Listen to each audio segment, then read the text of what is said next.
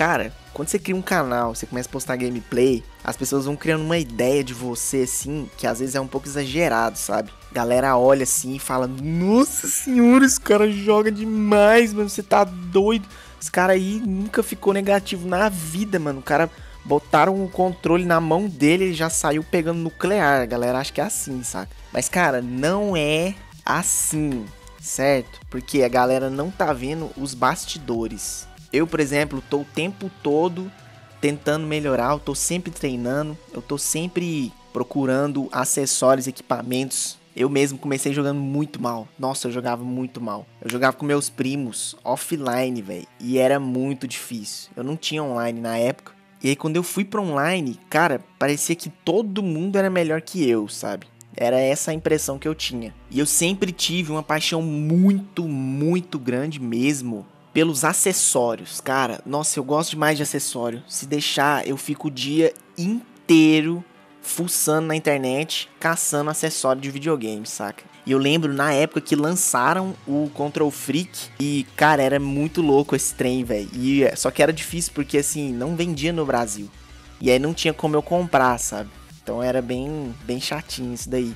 Eu tinha que fazer umas gambiarra muito loucas, inventava uns trem doidão assim. Mas uma coisa muito boa em ter canal é que eu consigo ver as dificuldades da galera, entendeu? Eu vejo os comentários, estou sempre interagindo, estou sempre fazendo algumas perguntas lá na comunidade, a galera vai respondendo. E baseado nisso, eu consigo ajudar de alguma forma, da medida do possível, né? Eu tô sempre fazendo tutorial, tô sempre fazendo vídeos de dicas aí.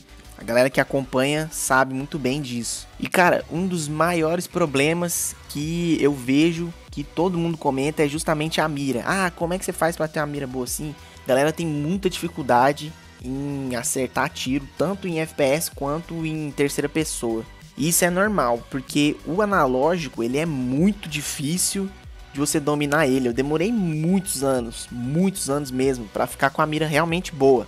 Então, foi pensando nisso que eu comecei o projeto do Control Shot, certo? Foi para ajudar essa galera que tem dificuldade porque de todos os acessórios que eu já tive contato, esse foi o melhor disparado. Cara, você pode tirar o controle Pro, você pode tirar os pedals, você pode tirar o gatilho lá, você pode tirar o que for, você pode tirar a gripe. Eu consigo jogar de boa se eu tiver um control shot. Se eu não tiver, eu não consigo jogar. Me dá um controle padrão do PS4 que eu consigo jogar de boa com a mesma mira que eu jogo no meu controle Pro, justamente por causa disso. E cara, foi um sucesso tão grande, eu não esperava realmente, eu não tava planejando que ia ser assim. Eu achei que eu ia começar bem de boas, assim, saca? Mas em dois dias já esgotou tudo. E aí eu fiz outros lotes também. Então dá uma conferida aí nos comentários da galera que tá usando. A galera tá gostando pra caramba. Se você aí que tá assistindo tá com seu control shot na mão, escreve pra gente aí a sua opinião, o que, que você achou. Então, para quem não sabe como que o control shot funciona, é o seguinte: você coloca ele em volta do analógico, ele é tipo um anelzinho, e ele vai deixar mais firme, o que vai facilitar demais na hora de você mirar. E uma das maiores vantagens dele é que você consegue aumentar a sensibilidade no jogo, mantendo a precisão da sensibilidade mais baixa. Então, para quem tem dificuldade na mira, é perfeito, saca? Ele funciona muito bem em qualquer jogo de tiro, tanto FPS quanto terceira pessoa. E eu vi gente falando que testou até em jogo de corrida e foi muito bom. Que aí, no caso, você coloca ele no analógico esquerdo, que vai ajudar na direção do carro, né?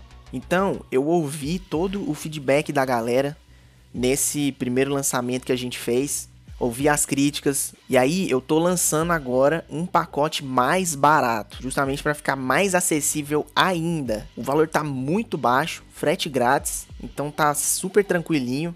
E aí nesse pacote vai vir um control shot de cada cor, do mais leve pro mais duro, que é justamente o necessário, né? Porque o ideal é você ir acostumando com a mira. Então você vai colocando mais leve, aí você vai aumentando e depois você passa o mais duro. Mas assim, de qualquer forma, tem jogos que você vai usar sensibilidades diferentes.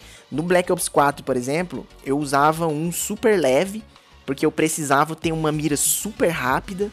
E já em outros jogos, que nem o WW2, eu usava um muito duro e aí eu aumentava a sensibilidade lá no máximo e conseguia usar a sensibilidade máxima de boas.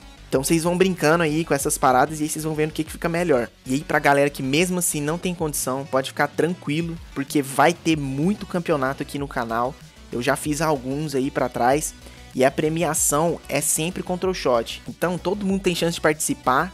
Basta você treinar um pouquinho, participar do campeonato, ganha lá que você vai levar para casa de graça o pacote, beleza? Mas então, cara, eu tô muito feliz com esse projeto, tá dando muito certo, melhor do que eu esperava. Eu fico muito agradecido aí com todo mundo que tá apoiando. Tem uma galera muito gente fina aí. Vocês estão fazendo bastante a diferença para mim. Eu fiquei um tempo sem falar sobre isso, justamente porque eu tava me preparando, eu tava organizando outras coisas que vocês vão saber no futuro, mas umas paradas muito massa. Eu tô fazendo o modelo do Nacon, tem uma galera do Nacon aí que tá desesperada. Gente, calma.